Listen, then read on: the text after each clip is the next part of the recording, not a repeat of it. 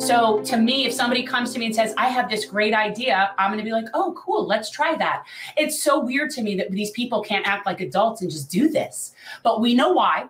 We know why. We know that they're beholden to corporate interests and even people that don't take corporate money, people like AOC, people like the squad that I do believe are good, well intended people. I do. I really do. And the problem is, even if they're not beholden to those, they obviously seem to be scared of them. And so that is also a situation. And, you know, I will do thank you calls. I'll tell you what, if I get to where I can't do them, I don't. know. We'll have to come up with some sort of system. A recording of some kind. Well, we have to come up with some sort of system. But I will tell you that I did. I I also tend to do written notes to people. Like people, if you're a patron on JENerational Change, you've gotten a handwritten note from me with a little Lulu sticker. And I, in fact, I just recently made personal artwork for one of our people. I'm just saying. I don't think you're gonna have time to do that. No, that I won't have time to do. But would I promote democracy? Wait, wait, wait. What's star voting multi-member district? Star voting is a different. Well, we'll talk oh, about definitely publicly funded elections. So, That's a no-brainer. So one of the things that we're going to talk about tomorrow. Um, I don't know what those are, but if somebody smart explained it to me and it was something that made logical, reasonable sense, then yes, I would support that. So what you have to what you have to know about tomorrow. Uh, we're going to have two guests tomorrow. We're going to have a we're going to talk about a book, uh, Vulture Capitalism, with uh, Grace Blakeley from the UK. We're also going to be talking with uh, two Not members, Sara Blakely. No, that would be fun. Maybe two members of uh, Cal uh, Ranked Choice Voting Coalition. and what we're going to talk about with them pertains to what obviously happened the other day, which, of course, Adam Schiff and Steve Garvey. Yeah, that's Steve Garvey from the Los Angeles Dodgers. Uh, all these athletes being such assholes. Uh, Garvey's definitely got an ego the size of California. Uh, but here's the thing that many people may not have been aware of, but are going to be aware of now. So, Mr. Schiff's super PAC was juicing Garvey's campaign with millions of dollars, screwing over Katie Porter and Barbara Lee in the process. And while Adam Schiff is all but assured of a U.S. Senate seat come November, there are probably a lot of vulnerable seats in the state of California now, thanks to his selfish reasoning to juice up Garvey's campaign. Why? It's been a very long time since there's been a GOP candidate in the U.S. Senate in the top two going into the general election. And in a year where Trump is going to have a lot more juice to his campaign than Biden will, you're putting a lot of people in down ballot races in California in very, very he doesn't dangerous care. spot. He doesn't care. He doesn't give a shit. They don't care. Not even a little bit. But the people that are up to snuff about what's really going on and know what Schiff is all about knows that he just screwed the California Democrats in a way that uh, I can't even put into words. to words. serve himself.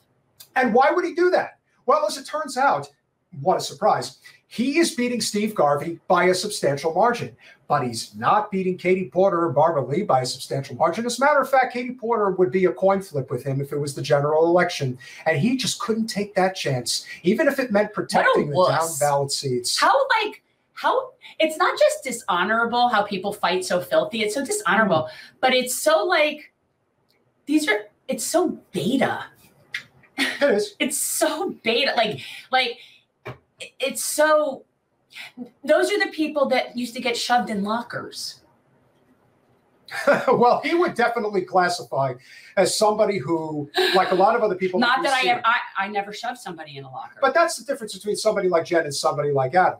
You see, he's the type of person who comes off as hmm. craven for power.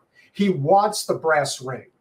Adam Schiff knows he could never be president of the United States. He probably knows he couldn't even be governor of California, but he could get to the U.S. Senate. Now that's likely going to happen now. I'm disgusted. And so, because he's going to go to the upper chamber, he can now be the so de- he can now be the Democratic equivalent of Ted Cruz, and he will sit there just as long as Ted Cruz will, because in states like California and Texas, it is almost impossible to get them out. And the amount of money, the amount of effort, you had the perfect. Their storm. legacy seats. You had the perfect storm. They're bequeathed. You had everything going in your favor to get Beto into that seat over Cruz in twenty in twenty eighteen. But he had to do. That was after the fact.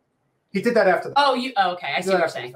Yeah. But the fact that they came within three points, couldn't pull it off, they he still ended up losing that race by over a quarter million votes, and that is as close as you're ever going to get. That was everything that needed to come together. And Ted Cruz is mm-hmm. just, if not more, loathsome than Adam Schiff. So it just goes to show you that at that level, it doesn't matter. They don't care about this two party thing. They don't believe that the world is ending. They're all in this together. I keep telling you, the end of the day, the image of Pelosi and McConnell bumping yeah. elbows, that's what it's all, that's guys, what it's really all about. You guys, if I ever got into Congress, seriously, like if I were getting, I am bringing you all with me so bad.